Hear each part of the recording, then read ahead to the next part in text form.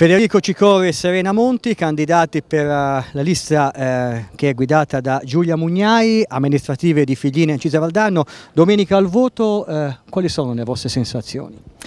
Allora, le nostre sensazioni sono quelle che abbiamo raccolto per tutta la campagna elettorale, infatti io volevo fare un, un appunto.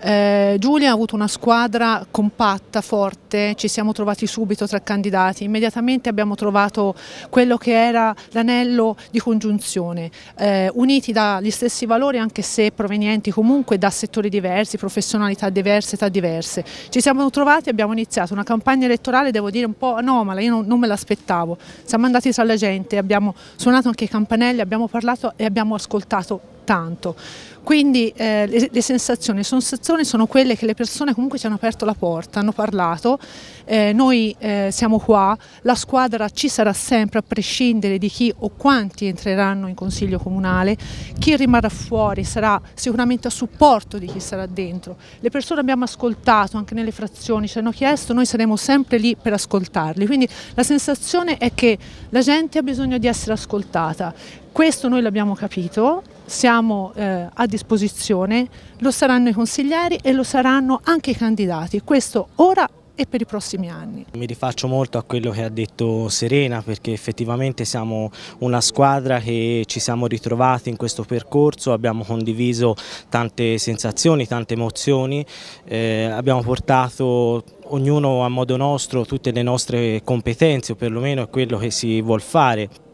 abbiamo parlato con tantissime persone, eh, abbiamo riscontrato consensi, abbiamo anche riscontrato però eh, qualche dissenso e lì abbiamo dovuto lavorare di più per far capire che comunque siamo persone che hanno a cuore quello che è la, il benessere dei cittadini, il benessere di Figline Incisa. Noi prima di essere candidati comunque eh, siamo cittadini e viviamo le stesse sensazioni di tutti, viviamo le problematiche di tutti ed è per questo che abbiamo scelto di scendere scendere in campo e provare a, a in qualche modo ognuno a modo nostro, con il proprio sapere, con le proprie conoscenze